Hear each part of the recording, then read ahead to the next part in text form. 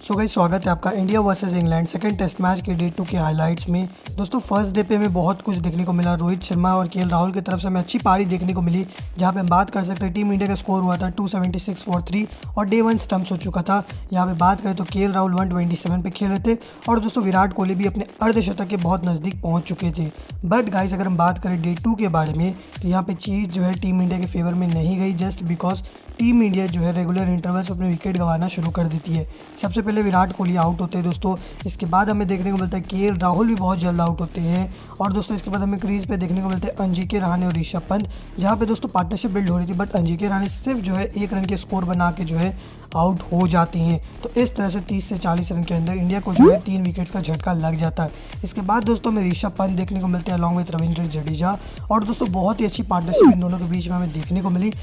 इसके बाद दोस्तों ऋषभ पंत चार लेना शुरू करते हैं और बहुत तगड़े शॉट्स लगाने लगते हैं। बट दोस्तों तभी ऋषभ पंत भी अपना विकेट गंवा बैठते हैं।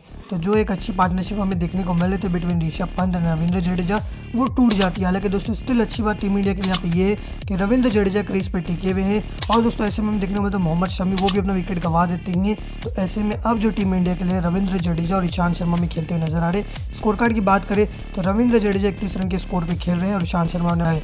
ओवरऑल स्कोर कार्ड के बारे में बात करें दोस्तों तो बहुत अच्छे स्कोर्स हमें देखने को मिले। विराट कोहली, रोहित शर्मा और के राहुल की तरफ़ से। हालाँकि दोस्तों, चेतेश्वर पुजारा जी के रानी जो है, फिर से फेल हो गए थे। ये बहुत बड़ा चिंता का विषय है। इसके ऊपर आपके क्या थॉट्स आपकी क्या राय है? आप ज़रूर से बता सकते हो मुझे कमेंट बॉक्स में।